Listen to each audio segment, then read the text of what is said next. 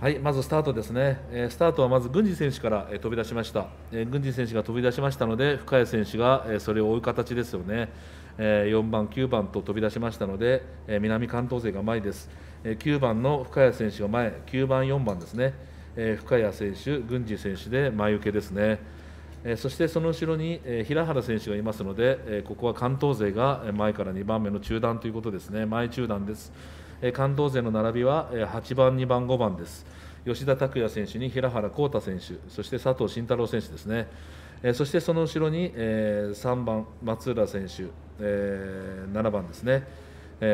そして最高峰には、えー6番、1番です。脇本選手に古性選手ですね。このような隊列で周回が始まりました、えードリームレースです、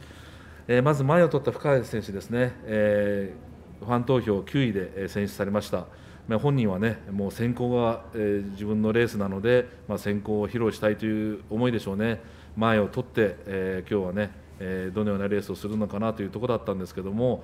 えやはりいつもと違うところどこかというと脇本選手が後方なんですよね。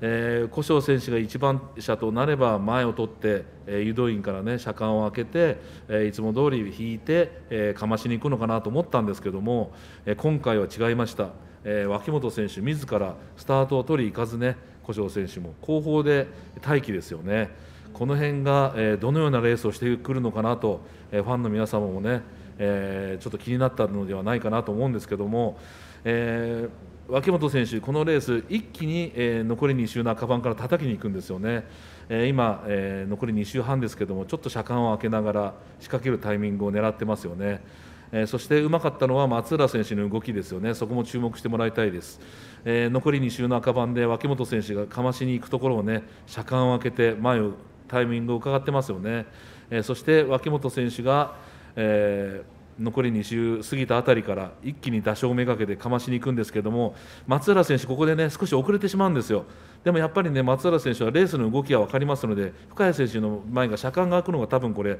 流れ的に分かってたと思うんですよね。それで前前に踏んで3番手を取りに行ったこれは非常にさすが松浦選手だなというところですよね。あとは、えー吉田拓也選手がね無理くりいってますので平原選手もそこにはちょっとついていくことができず様子を見る形になったんですけども、えー最終バックになって深谷選手がね、えーまくりに行きましたので、えここであ深谷選手の一まくり出てくるのかなとも思ったんですけども脇本選手のスピードが、えここは衰えません。えー古性選手が抜きに行くんですけども、えーここで脇本選手が堂々1着脇本劇場始まりましたねオールスター競輪。えー素晴らしい先行逃げ切りでした、脇本選手、えー6番、1番、3番、えー前年度覇者の古性選手が、えー2着ですね、えーそしてしっかりと3番手を取った松浦選手が3着、6番、1番、3着。さ6番、1番、3番というゴール決着になりました、第10レース、ドリームレースでした。いやお疲れ様でした。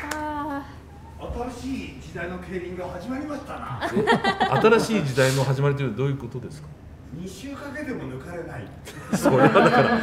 脇本君はだからすごいですよね。すごかった。ね